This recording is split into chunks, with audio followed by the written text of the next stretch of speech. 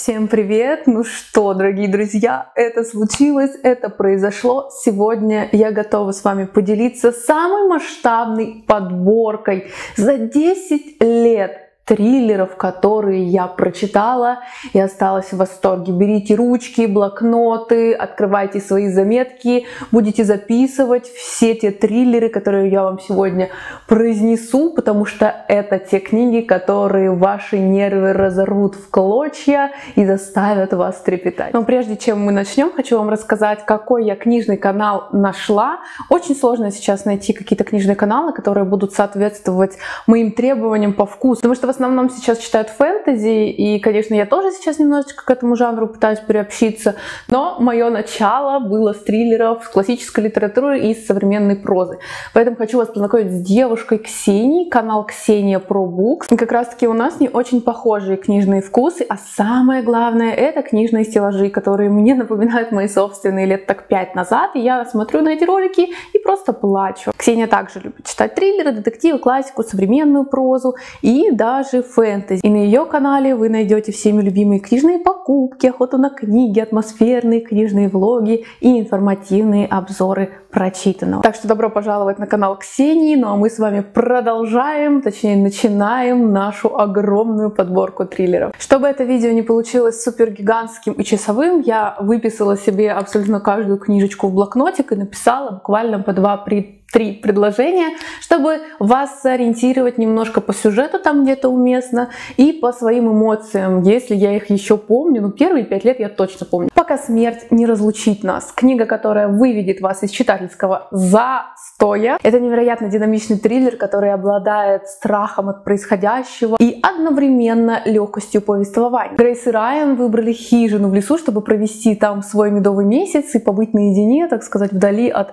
э, городской суеты. Но отдых омрачают, конечно же, их тайны, которые они скрывают друг от друга. В этой книге вас ждет шок от происходящего и хижина, которая полна Тай. Безусловно, книга подойдет для тех, кто любит этот жанр и любит именно триллеры с кровью и с каким-то экшеном. Вы определенно точно не уснете, пока не дочитаете эту историю и не узнаете, что же там происходило в этом домике очень-очень-очень много лет назад. Ложь во благо — это необычный детектив, потому что расследования у нас ведут необычные детективы, а сами герои книги. Если вы как читатель раскрыли один секрет, то вам обязательно подкинут второй, третий, и их будет очень большое количество, вплоть до концов. Психиатр Гвен, эксперт по убийцам, и если она общается с каким-то убийцей, она может с первого взгляда сказать, причинил ли он вред человеку или все же это ложное обвинение. Очень запутанное дело, шестеро подростков умирают, убитый горем отец, который не может разобраться в этом деле, потому что его ребенок тоже погиб. Такие истории не анализируют на предмет правдоподобности, а просто ими наслаждаются и не докапываются до правды, потому что это очень много времени займет, а, а наслаждение все-таки нужно себе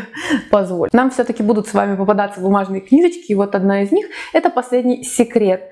Это, кстати, от автора предыдущей истории «Ложь во благо». Как раз-таки «Ложь во благо» я прочитала после этой книги, потому что мне это очень сильно понравилось. Перед нами идеальнейший баланс роскоши и мести. Если вам о чем-то говорит книга «Последняя миссис Пэриш», то комментарии излишни, потому что вот это такая небольшая копия предыдущей книги, и она тоже прекрасна. Нина хочет заполучить чужого мужа и поменять свою жизнь, но тем не менее она 20 лет уже сама так-то замужем, и причем достаточно удачно. Она одержимо становится своим соседом и ненавидит его жену. Как же привести свой гениальный план по захвату мужа в действие и заполучить чужую жизнь. Этот небольшой, но динамичный триллер приведет вас, я думаю, в восторг. «Дом на краю темноты» Райли Сейгер, один из моих любимых уже, можно сказать, авторов. Мистическая атмосфера, надухаренная чем-то зловещим. Не похожая ни на что история про дом ужасов, который меня поверг в шок, потому что в призраков я не верю и, в принципе, такие книги никогда не читала. Бейнбери Холл.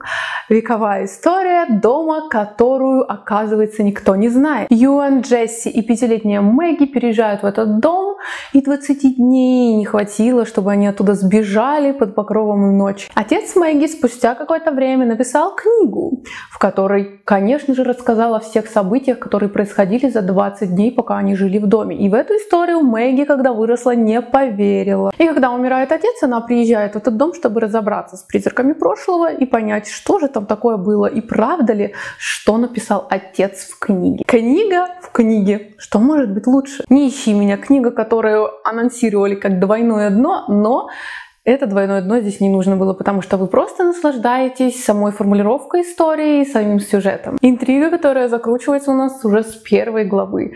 Наташа, которая крутит роман с Ником, он вообще-то женатый мужчина, и Джен, изнуряющая своими звонками и приходами своего уже бывшего мужа. Автор концовку немного слил, но в целом сама подача и компоновка произведения мне понравилась, и не пожалейте на нее время, потому что книга действительно достойная, тема мужа жены моя любимая, собственно, тема. Нежеланный гость, когда у вас за окном постоянный плюс 40, хочется окунуться в действительно зимнюю атмосферу, поэтому эта книга просто как нельзя кстати мне подошла, читала ее как раз таки три года назад, когда только приехала сюда. Заснеженный отель, где у вас помимо того, что нет электричества и сотовой связи, еще и очень сильно холодно и никого в округе нет. 10 постояльцев, 13 номеров и 3 дня, чтобы выжить. И первые страницы вас окунут просто в колоссальную интригу в стиле Агаты Кристи. Самое интересное, что с каждой главой Тайны постояльцев выходят наружу. Следующие книги будут от мастера пера и моего любимого автора триллеров. Это Себастьян Фитц.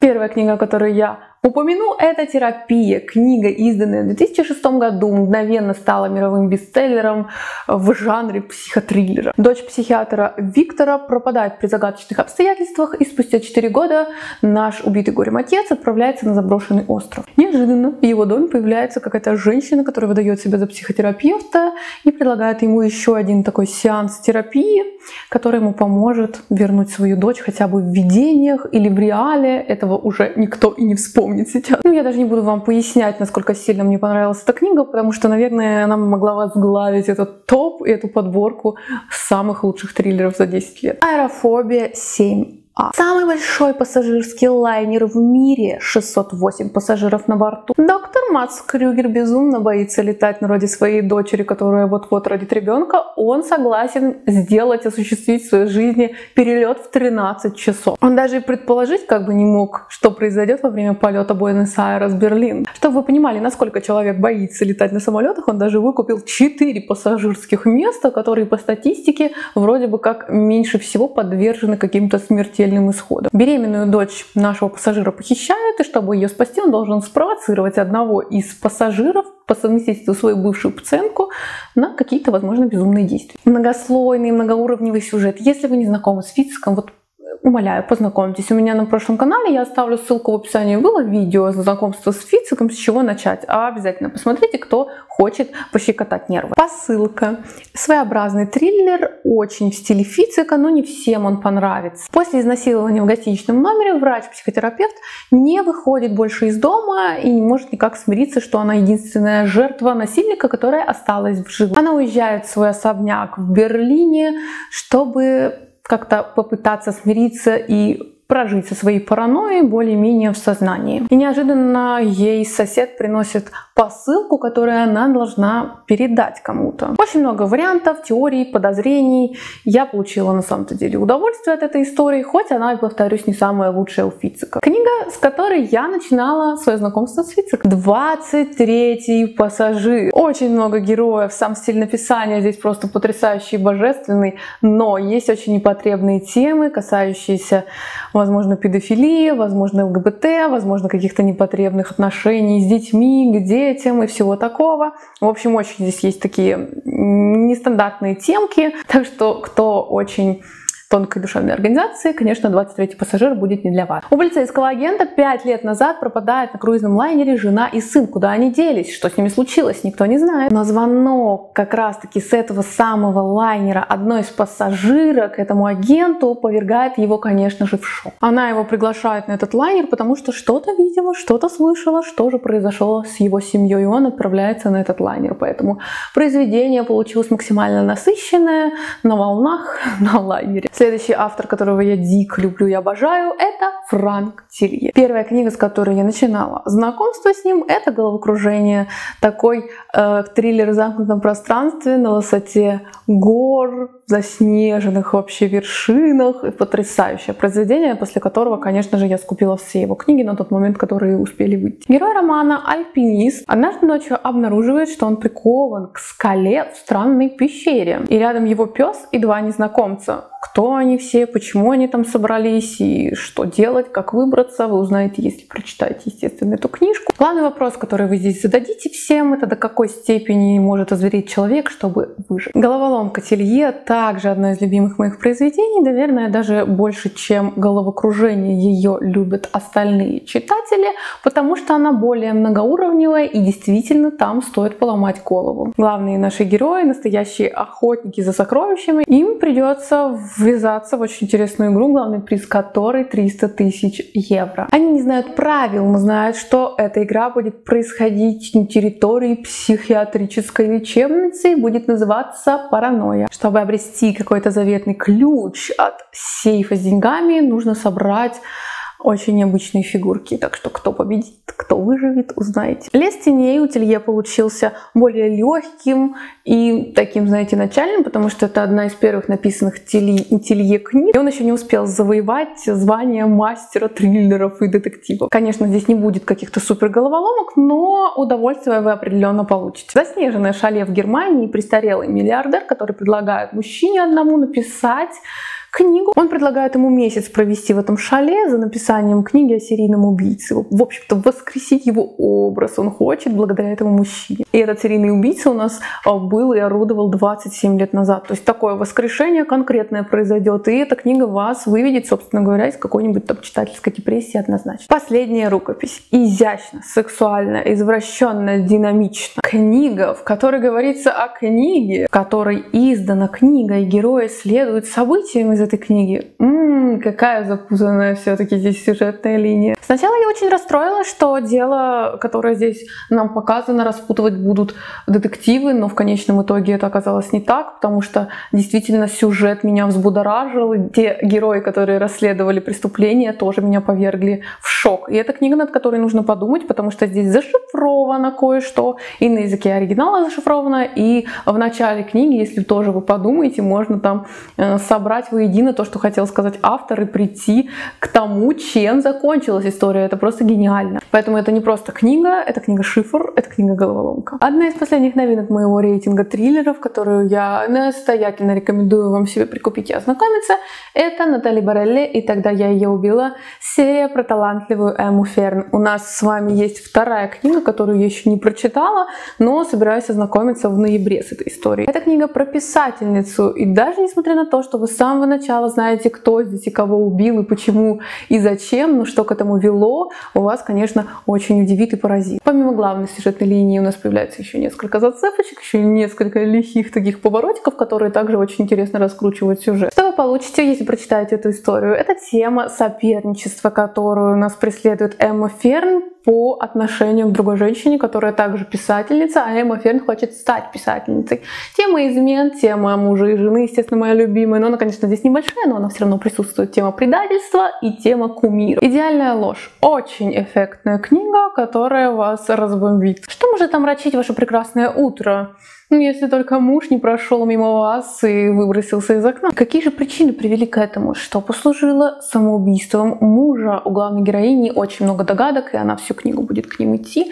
На что вас ждет в конце, конечно, будет шоком. «Милое дитя» — сильная история с жуткой начинкой. Для всех любителей Фауза, его коллекционера и, в принципе, коллекционер — это одна из моих любимых книг, которая влегла в основу, наверное, большинства книг о похищении. Убитый горем отец вот уже 14 лет ищет свою пропавшую дочку Лену Б. Внезапно полиция обнаруживает 13-летнюю девочку, которая очень уж напоминает Лену. Кто эта девочка? Когда похитили Лену? Кто похитил Лену? Зачем ее похитили? Вы найдете абсолютно все ответы на ваши вопросы. На мой взгляд, очень сложно построить интересный действительно сюжет и прописать его, когда тема похищения детей, похищения женщин, в принципе, что там можно написать интересно, интересное, но такие книги есть, и вот вам очень советую как раз таки «Милое дитя». «Опасные соседи» Лайзы Джуэл. Прекрасная история про ужасные вещи. Перед нами три истории, сплетенные в одну жизнь. Первая история про девушку Люси, у которой бездомная жизнь с двумя детьми. Вторая девушка Либи, которая в день своего 25-летия узнает, что по наследству ей переходит вот такой вот домик. И история мальчика Генри, который как раз-таки нам рассказывает 70% всей истории, что происходит в книге, и благодаря ему мы знакомимся, в общем-то, со всеми э, действиями. В этой книге есть все. Убийство, тайны прошлого, предательство и очень серьезная драма. Даже я не знаю, к какому жанру больше можно отнести эту историю, драма или триллер. Ну пусть это будет драматичный триллер. Парочка книг от моего любимого Джона Марса. И первая это The One, единственный. Это письменное воплощение одного из сериала Черного зеркала, точнее одной из серий этого сериала. Поиск своей пары путем ДНК-теста через огроменную базу данных. У нас здесь пять разных историй, связанных одной нитью. 100 глав, которые нереально удобно читать. И все сюжеты, как ни крути, но они с двойным дном, поэтому обязательно ознакомьтесь с этой историей, если кто еще не знаком. Вторая книга Джона Марса, которая также находится в рейтинге моих любимых триллеров, это «Добрая самаритянка». Это просто мощнейший винегрет безумия. Отвратительная героиня с кучей психологических проблем, открытый финал, тайны прошлого. Лора работает диспетчером в очень интересной компании, куда может позвонить абсолютно любой человек, который хочет услышать какие-то слова поддержки и одобрения от волонтеров, и она этим, собственно, там и занимается. Но она необычный волонтер. Лора питается чужими жизнями, помогая им оборваться. Страшная история, тяжелая книга, но потрясающее исполнение. Старый добрый Грег Олсен и его книга «Затаившись». Щекочущий триллер с плавным раскрытием преступлений и тайн. Здесь есть буквально все измены, предательство, педофилия и даже безответная любовь. А главная тема книги — это похищение. Супружеская пара с трехлетним ребенком поехали в кризис своих отношений в загородный домик на озере, чтобы перезагрузить свои семейные узы. Отец семейства становится свидетелем, как его жену просто похищают у него на глазах, э, и она исчезает, пропадает. Страшные тайны будут вскрыты, и вы будете в шоке от того, как обычные и прекрасные люди могут оказаться вообще абсолютно другими. Не говори никому. Реальная история сестер, выросших с матерью убийц. Ужас от происходящего в книге просто не укладывается в голове, и все описания будут рвать вашу душу в клочья. Стиль описания околдовывает своей мерзостью и мраком. Читается история как документальный фильм с репликами как раз-таки трех сестер. И эта книга своеобразное предупреждение, как потом сказал Грег Олсон, всем тем, кто может встретиться с этой женщиной в реальной жизни, если она когда-нибудь, конечно, выйдет из тюрьмы. Следующая книга это «Тайный дневник Верити» от Колин Гувер, так как она автор у нас романтической прозы, все привыкли ее читать именно в этом жанре. Первая книга, с которой я познакомилась у Колин Гувер, это как раз-таки была «Тайный дневник Верити» и вы знаете, что, скорее всего, она пишет подобные книги лучше даже, чем любовный роман. В какой-то степени даже эта книга является любовным триллером. В книге речь идет о двух писателях и дневнике в сопровождении прекрасного мужчины и по совместительству мужа верите. Мрачный особняк, убийство, тайная страсть, дети и безумие просто на каждой странице. Не читайте аннотации к этой книге, потому что там абсолютно точно половина сюжета прописана, это совершенно вам испортит впечатление. Другая женщина от автора Сэнди Джо. Сюжет мне напомнил режим деликатной стирки у машинки, где вас сначала плавно от стенки к стенке переворачивают, а потом как закрутят вас в вихрь на отжиме, чтобы просто оттуда выпрыгнете. Свекровь с каждой главой ищет все более и более изощренные способы поссорить своего сына с невестой. Даже если вы уже на опыте от неожиданных концовок, вас удивит совершенно другое. Это стиль, это манера. И это невероятно шикарная подача. Это действительно книга с двойным дном и тройным поддоном. Дорогие друзья, я поняла, что у меня не хватит эфирного времени, чтобы рассказать вам про все 43 или 44 книжки. Я рассказала половину, потому что мое время подошло к концу. Все-таки я снимаю, когда у меня здесь находится дочка, и это не совсем удобно. Поэтому давайте сделаем так. Так как мои просмотры ушли на какое-то дно жизни за последний месяц, поэтому вдохновения у меня, конечно, маловато для продолжения съемок, но съемки у нас теперь будут вот такого формата дома, поэтому я бы хотела, чтобы абсолютно каждый, кто посмотрит этот ролик, поставил лайк этому видео и написал какой-нибудь комментарий, стоит ли продолжить свою подборку и рассказать еще про 20 наикрутейших триллеров за 10 лет, тем более дальше триллеры будут такие годов 2000 12-х, 13-х, 14-х, о которых, наверное, сейчас все уже и забыли. Мне будет очень приятна ваша обратная связь, потому что это меня смотивирует на дальнейшую съемку, так как сейчас очень я, мягко говоря, не воодушевлена этим каналом. Так что спасибо, что посмотрели это видео. Надеюсь, оно вам понравится. Всем пока!